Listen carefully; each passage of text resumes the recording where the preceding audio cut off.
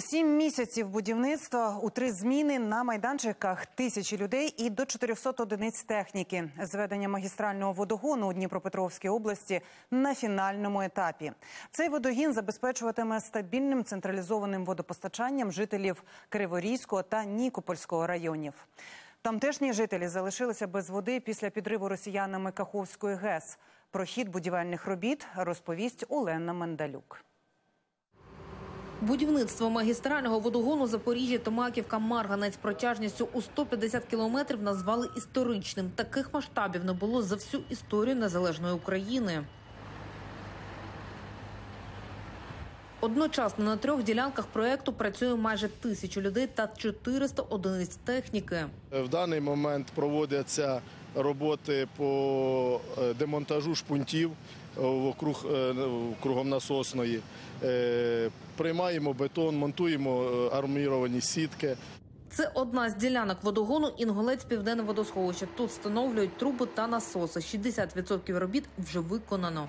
Укладка труб, які будуть приходити до насосної, і буде в насосні відбуватися монтаж цих труб, які будуть е, з'єднуватися із е, насосами і е, в даний момент будуть вже відкачувати воду.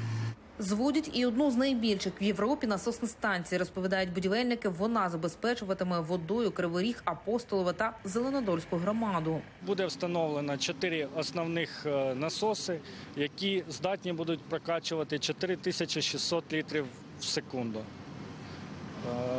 Також будуть аварійні і резервні насоси на випадок блекаутів або аварійних ситуацій. Е, Вони будуть е, заміняти 75% від працюючих насосів. Інша ділянка магістрального водогону Хортиця, Томаківка, Марганець, Нікополь, Покров готова на майже 80%. Тут також чотири основні та два резервні насоси. Їх вже встановили. майже на завершальному етапі. Це мається на увазі, що вже відливається останній поверх АБК і будуть е, скажімо, обшиватися наш зал сандвіч-панелями. Також пара, е, паралельно йдуть роботи по е, підключенню водоводів. Будівництво триває майже сім місяців. Щодо дедлайнів на майданчиках воліють не говорити, бо кажуть, у термін втручається то погода, то обстріли. Особливо небезпечно вздовж Нікопольщини, яка щодня під російським вогнем.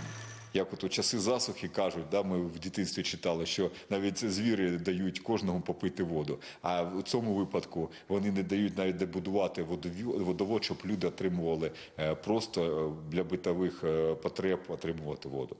На сьогодні 90% робіт вже виконано, кажуть підрядники. Попереду тестові пусководи та облаштування станцій. Через підрив росіянами Каховської ГЕС майже півтора мільйона жителів Криворізького та Нікопольського районів залишилися без води. Тож магістральний водогін чи не єдиний шлях забезпечити людей централізованим водопостачанням.